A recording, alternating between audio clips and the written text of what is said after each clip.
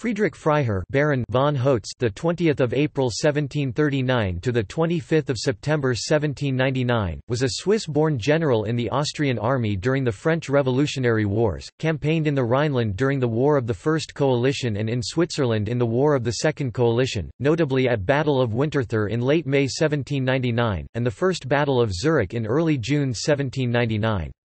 He was killed at the Second Battle of Zurich.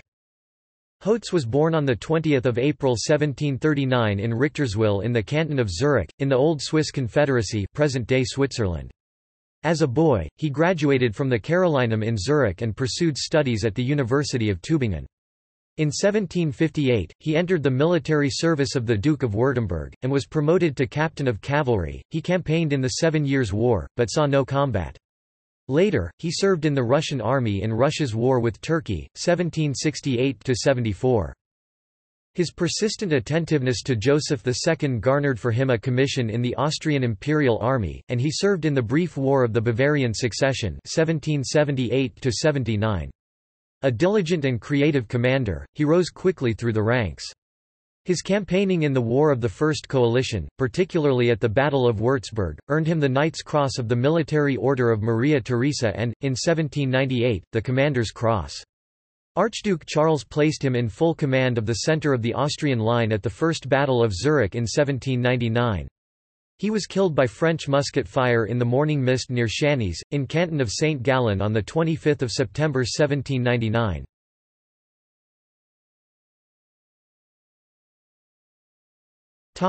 Childhood and early career Friedrich Hotze was the second son of Johannes Hotze, a doctor and surgeon in Hessian military service and his Zurich-born wife, Juditha Gessner. Hotze came from an old Swiss family, and was a cousin of Heinrich Pestalozzi, the pedagogue and education reformer. As a young man, Hotze studied at the renowned Gymnasium Carolinum Zurich. Later he attended the University of Tübingen. In October 1758, Hotze entered the military service of the Duke of Württemberg, in a Hussar regiment as an officer cadet ensign. .By 1759, he had been promoted to lieutenant, and in 1761, to cavalry captain or Rittmeister. He left the Duke's service during the disagreement between the Duke and the Württemberg estates over financial matters involved in maintaining a standing army, and entered the service of the King of Prussia, where he remained until the end of the Seven Years' War 1756 -1763. After service in Prussia, he took a brief vacation in Switzerland. In May 1768, Hotze entered the service of Catherine II, the Tsarina of Russia, but only as lieutenant of a regiment of dragoons, the so-called Ingermanland, named for the territory between Lake Peipus, the Narva River, and Lake Ladoga, in the old Grand Duchy of Novgorod.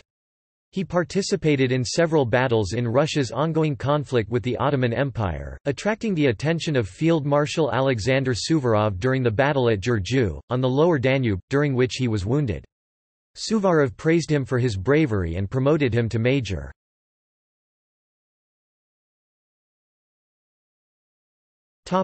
Habsburg service The war between Russia and the Ottoman Empire ended with the Treaty of Küçük-Kaynarca, signed on 21 July 1775.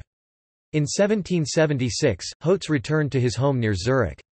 On the return journey, he stopped in Vienna, to present himself to the Emperor, Joseph II, and to seek an appointment as a major in the Imperial Austrian Army. When Joseph travelled to Hunningen near Basel, in the Upper Rhine in 1777, Hotze once again presented himself, after which he finally secured a major's commission in the Cuirassiers Regiment 26, known as the Baron of Berlichingen Freiherr von Berlichingen regiment. His regiment served in the field during the brief War of the Bavarian Succession 1778 -79. He served for a short time with the Cuirassiers Regiment Marquis de Voghera in Hungary, and returned with this regiment to Vienna in 1783. In 1784, he was promoted to lieutenant colonel and given command of the 1. Galician Lancers, which, in 1795, became the foundation of the 1. Lancers Regiment. Hotze's experience with military preparedness and organization gave him an advantage in establishing the Lancers as a new combat arm. Recognizing the importance of Lancers as part of the Austrian armed force, he embarked on an organizational and training program. The emperor named him as commander of these corps, with the rank of a full colonel. In 1787, he returned temporarily to Russia, this time to establish a similar force in Catherine the Great's army.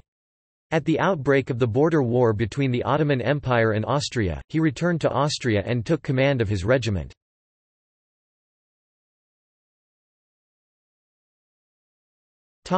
French Revolutionary Wars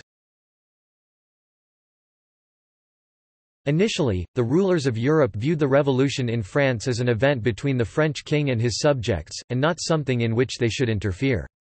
In 1790, Leopold succeeded his brother Joseph as emperor and by 1791, he considered the situation surrounding his sister, Marie Antoinette, and her children, with greater alarm. In August 1791, in consultation with French émigré nobles and Frederick William II of Prussia, he issued the Declaration of Pillnitz, in which they declared the interest of the monarchs of Europe as one with the interests of Louis and his family. They threatened ambiguous, but quite serious, consequences if anything should happen to the royal family. The French republican position became increasingly difficult. Compounding problems in international relations, French émigrés continued to agitate for support of a counter-revolution abroad. Chief among them were the Prince of Condé, his son, the Duc de Bourbon, and his grandson, the Duc d'Enghien. From their base in Koblenz, adjacent to the French-German border, they sought direct support for military intervention from the royal houses of Europe, and raised an army. On 20 April 1792, the French National Convention declared war on Austria. In this War of the First Coalition 1792 France ranged itself against most of the European states sharing land or water borders with her, plus Portugal and the Ottoman Empire.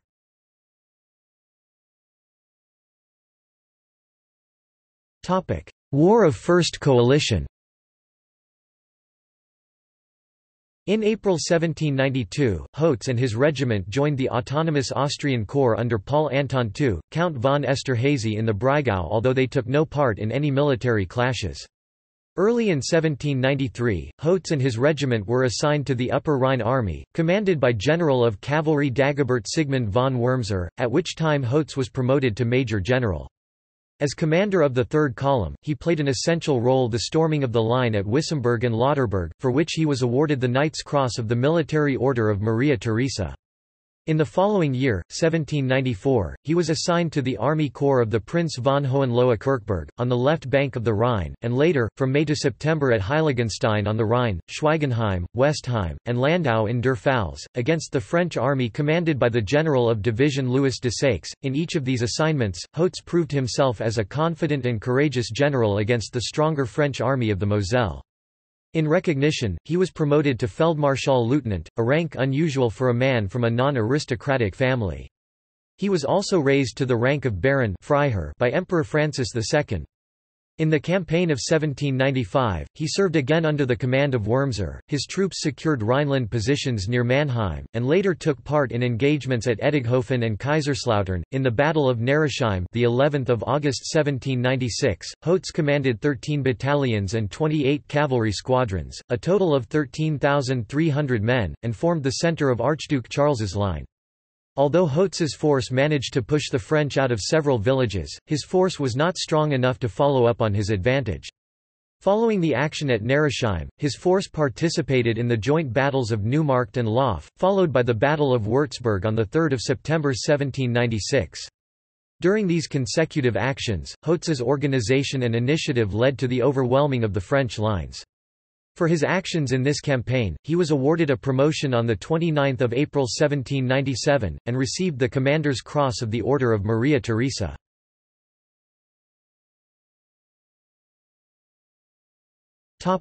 Peace and the Congress of Rastatt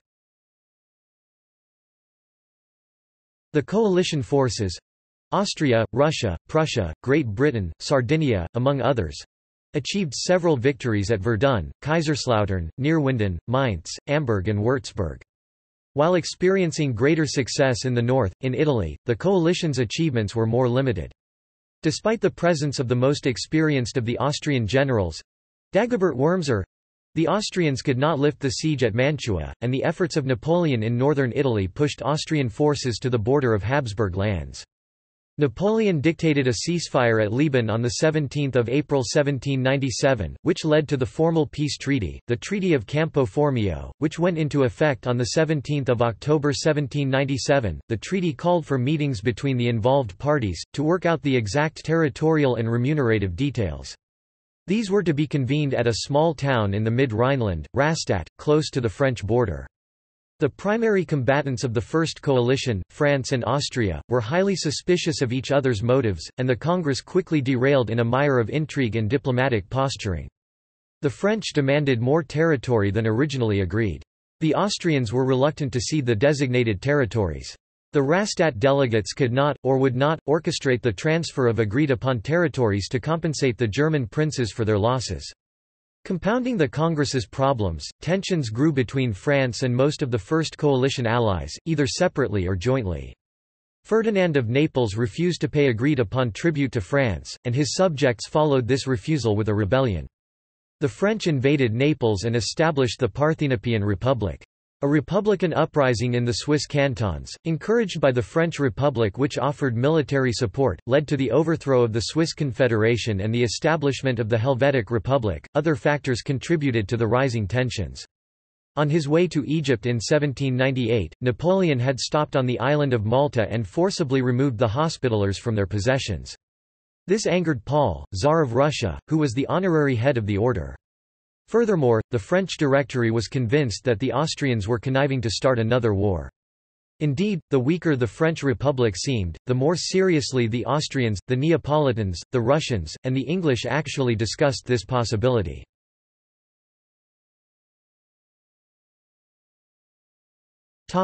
Outbreak of war in 1799 With the signing of the Treaty of Campo Formio on 17 October 1797, Hotze left Austrian service and returned to his home in Switzerland. Hardly had he arrived there when the government of the Swiss Confederation in Bern was overthrown, with the assistance of the French Directory. He returned to Austria, received a new commission and a new command. He was already in the border regions between Switzerland, Austria, and Liechtenstein when the war broke out again in 1799. Archduke Charles of Austria, arguably among the best commanders of the House of Habsburg, had taken command of the Austrian army in late January. Although Charles was unhappy with the strategy set forward by his brother, the Holy Roman Emperor Francis II, he had acquiesced to the less ambitious plan to which Francis and his advisers, the Aulic Council, had agreed. Austria would fight a defensive war and would maintain a continuous defensive line from the southern bank of the Danube, across the Swiss cantons and into northern Italy. The Archduke had stationed himself at Friedberg for the winter, 4.7 miles 8 kilometers east-southeast of Augsburg. His army settled into cantonments in the environs of Augsburg, extending south along the Lech River. As winter broke in 1799, on 1 March, General Jean-Baptiste Jourdan and his army of 25,000, the Army of the Danube, crossed the Rhine at Kehl.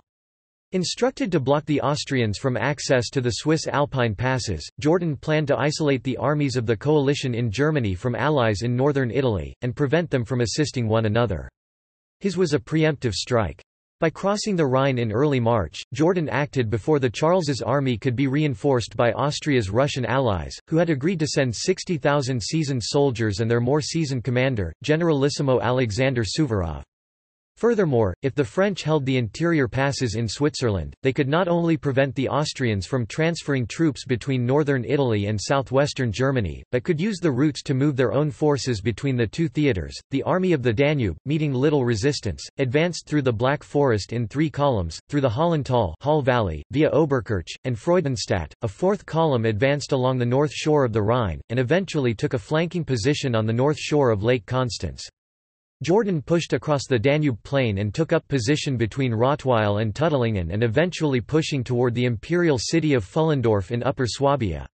At the same time, the Army of Switzerland, under command of André Massena, pushed toward the Grisons, intending to cut the Austrian lines of communication and relief at the mountain passes by Luziensteig and Feldkirch.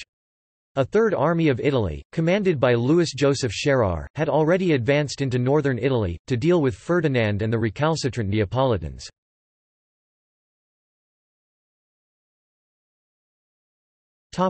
War of the Second Coalition When Hotze took up arms against the French in Switzerland, the revolutionary Swiss government in Bern revoked his Swiss citizenship. For the coalition allies, though, his Swiss roots made him an ideal emissary between Vienna and Confederation sympathizers in Switzerland. He worked with William Wickham, and a Colonel Williams, an Englishman in Austrian service, to establish the Bodensee Lake Constance flotilla. As Feldmarschall-Lieutenant, he commanded 15,000 troops in the Vorarlberg against France's Army of Switzerland, commanded by André Masséna. After fortifying Feldkirch, he overwhelmed the fortress at St. Luziensteig, an important pass elevation, 713 metres 2,339 feet in the canton of Graubünden that links Swiss Confederation and Liechtenstein. Then, realizing that the main French army had crossed the Rhine and moved north of Lake Constance, he reorganized the defences of Feldkirch, and deputed command to Franz Franjo Jelassic, an able officer and commander. Hotze took 10,000 of the 15,500 troops designated for the defence of the Vorarlberg toward Lake Constance, intending to support Archduke Charles's left wing at the battles of Ostrach and, a few days later Stockach. Although his forces did not arrive in time to participate in the battles, the threat of their pending arrival influenced French planning. In his absence, Jellachic's 5,500 men faced 12,000 under the command of generals of division Jean-Joseph Dessolles and Claude Lecourbe, inflicting enormous casualties 3,000 on the French while suffering minimal losses 900 of their own.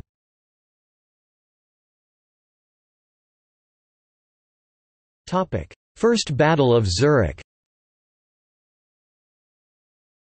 By mid-May 1799, the Austrians had wrested control of Switzerland from the French as the forces of Hotze and Count Heinrich von Bellegarde pushed them out of the Grisons. After pushing Jean-Baptiste Jourdan's force, the Army of the Danube, back to the Rhine, Archduke Charles's own sizable force—about 110,000 strong—crossed the Rhine, and prepared to join with the armies of Hotze and Bellegarde on the plains by Zurich. The French Army of Helvetia and the Army of the Danube, now both under the command of Masséna, tried to prevent this merger of the Austrian forces. In a preliminary action at Winterthur, the Austrians succeeded in pushing the French forces out of Winterthur, although they took high casualties. Once the union took place in the first two days of June, Archduke Charles, supported by Hotze's command, attacked French positions at Zurich.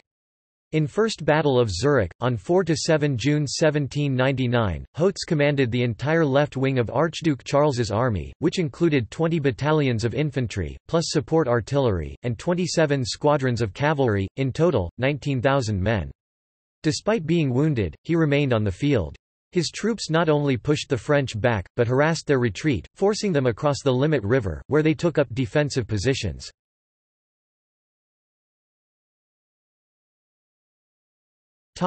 Death at Second Battle of Zurich In August 1799, Archduke Charles received orders from his brother, the Emperor, to withdraw the Austrian army across the Rhine. While Charles could see this to be unreasonable, Alexander Suvorov had not yet reached central Switzerland, and it was folly to think that Alexander Korsakov's force of 30,000 and Hotze's 20,000 could hold all of the region until the arrival of the rest of the Russian force. The order was emphatic. Charles delayed as long as he could, but in late August he withdrew his force across the Rhine and headed toward Philipsburg. When Suvorov heard of this breach of military common sense, he wondered, "'The owl referring to the emperor has either gone out of his mind, or he never had one.' The order was eventually reversed too late for the Archduke to stop his withdrawal. Unlike Korsakov, Hotze knew his military business, and he had organized a competent defense of the St. Gallen border, on Korsakov's left flank, reasoning, correctly, that Suvorov was on his way and needed St. Gallen as a safe haven after he passed through the canton Schwyz. On the morning of 25 September, Hotze and his chief of staff, Colonel Count von Plunkett, conducted a reconnaissance ride near the village of Schänis, on the Linth River, only 32 kilometers 20 20 miles from Richterswil, the village in which he had been born. In the heavy morning mist, they encountered a party French scouts from the 25th Demi Brigade concealed behind a hedge. Summoned to surrender, Hotze wheeled around and spurred his horse, where both he and Colonel Plunkett were killed by a volley of musketry. Initially, Hotze was taken from the battlefield to the church in Schänis, where he was buried. In 1851, his body was moved to Bregenz and established in a monument there.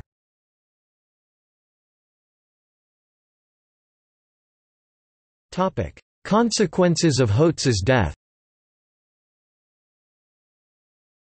Hotze was sorely missed. Despite miscommunication between and among the British, the Austrians and the Russians, the British miscalculation of the size of troops consistently 10 to 25% higher than they actually were, the lack of Swiss volunteers, and failed promises of transport mules, Suvorov organized his impressive march across the Alps from northern Italy, counting on Korsakov and his Austrian allies to hold Zurich. His soldiers took the pass at St. Gothard in a bayonet charge, and endured incredible hardships navigating the narrow trails of the Alps. By the time the Russian army reached Schwyz, preparing to descend from the mountains into the Zurich plain, Massena's army already had crushed the incompetent Korsakov's force at Zurich, and, in Hotze's absence, Jean de Dieu Soult's French division overwhelmed the Austrian flank at Schänis and crossed the Linth unhindered. When Suvorov cleared the mountains, he had nowhere to go, he was forced to withdraw in another arduous march into the Vorarlberg, where his starving and ragged army arrived in late October. Between Korsakov's inability to hold the French at Zurich, and Hotze's death at Schänis, the Swiss campaign degenerated to an utter shambles.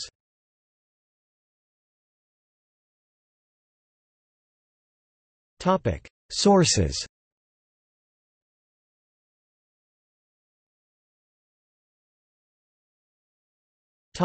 Citations and notes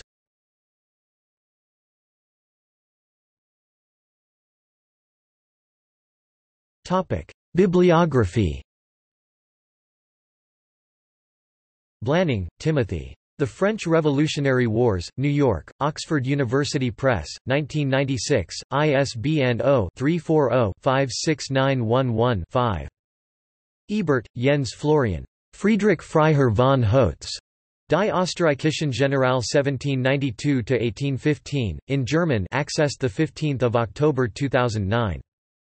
Hollins, David, Austrian Commanders of the Napoleonic Wars, 1792–1815, London, Osprey, 2004. Herlemann, Katja, Johann Conrad. Friedrich von Hotze.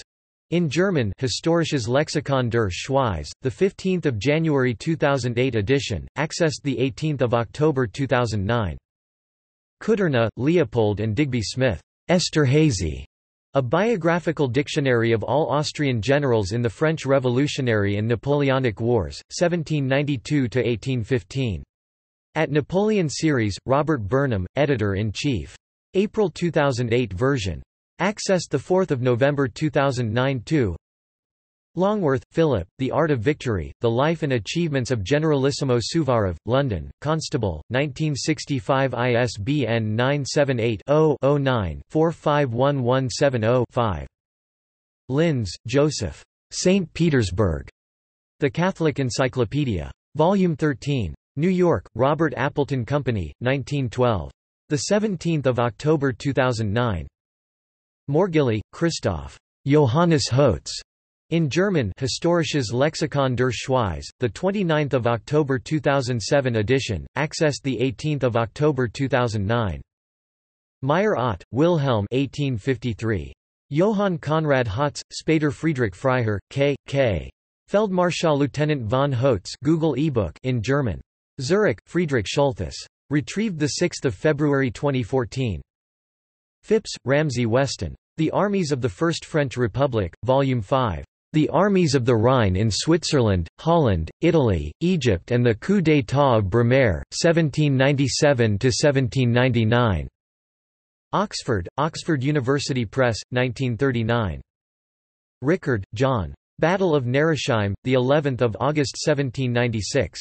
History of War Online. Peter Antill, Tristan Dugdale Poynton, and John Rickard, editors. Accessed 14 February 2009. Shadwell, Lawrence. Mountain Warfare Illustrated by the Campaign of 1799 in Switzerland, being a translation of the Swiss narrative, compiled from the works of the Archduke Charles, Jomini, and other London, Henry S. King, 1875. Smith, Digby. The Napoleonic Wars Data Book. London, Greenhill, 1998, ISBN 1-85367-276-9. Young, John, D.D. A History of the Commencement, Progress, and Termination of the Late War between Great Britain and France which continued from the first day of February 1793 to the 1st of October 1801, in two volumes. Edinburgh, Turnbull, 1802, Volume 2. University of Zurich. Klassisches Philologisches Seminar. In German A flat, 13 November 2009. Accessed 14 December 2009.